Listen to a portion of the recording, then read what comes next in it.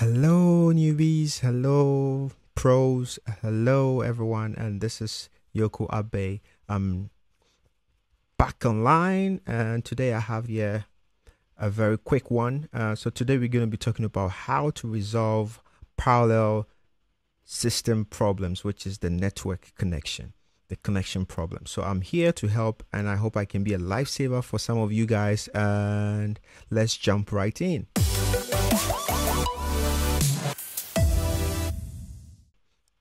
So without wasting much much time, so today we're going to be jumping into parallel with Microsoft and then Windows and then you know getting back on Mac.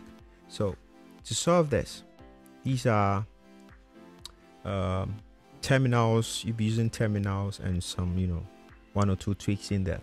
So now first of all, let's look at this. So we have um, two two two. We have two ways to do this so one is to use the terminal in Microsoft, uh, what's called the Mac OS to fix the problem.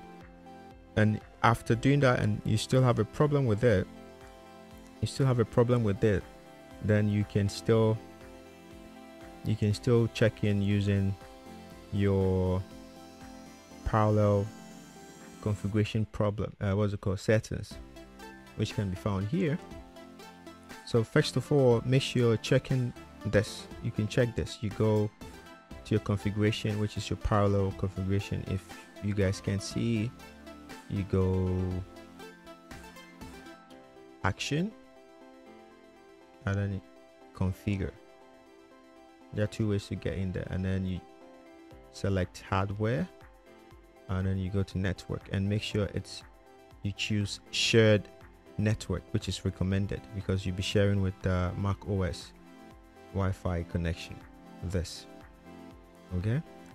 So that's one thing you can you know use to check if if it's connected or not. So after checking that you restart your you restart your windows.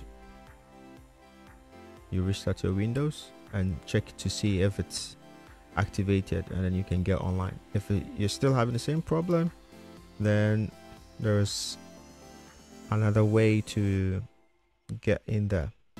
So let's look at this. So we press command spacebar terminal. So we open terminal. So i'll be putting this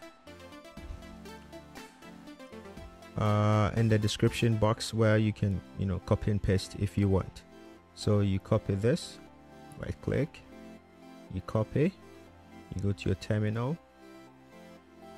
For future sake let's check once again to be sure if it's saved. And uh, let's see. Oh shoot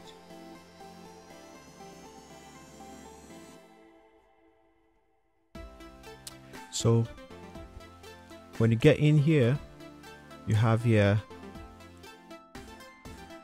so for this part some of you guys might probably looking at this if you don't have this in your sorry let me make it a little bit bigger. So here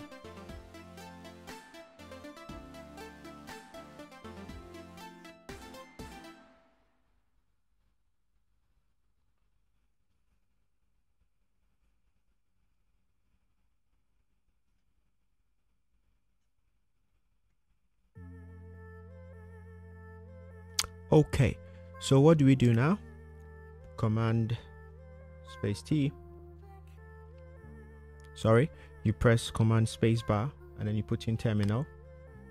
And then I'll be putting this in the subscript uh, description box. You can go in the copy. You come you paste here enter put in your password. Good to go so we'll be looking for this. If you don't have that then there is a problem. That's why your internet isn't connecting. So you use this. I have that also in the description. If you don't have it you can copy this. So remember guys here we have one here and then some of you guys might be having this but it's still not working. So i give i found an alternative. So the best thing to do is use the same thing but change the the, the figure 0 to 1 so you copy this. You go back into terminal. So you move your cursor which is from here. You press down down down down. And you press enter. You go back up there. Command v you paste it in there. So you see we have zero we have one here and then we have zero here. Just to and then after that you press control x and then you press enter. Sorry you press y enter and then you are good to go. So let me try again. So if you have a if you want to check if it's really saved you go back again. You copy this. Go back in there. Paste. Enter. What's your password? Boom there you go. It's in there. So we have this here you have this there. So after doing this after doing this control x boom you're done.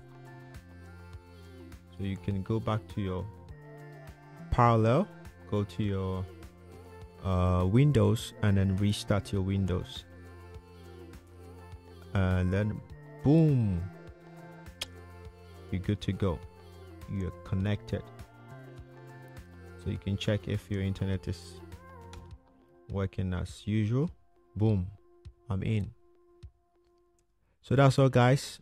Thanks for watching and see you in my next video. Remember to like subscribe. Booyah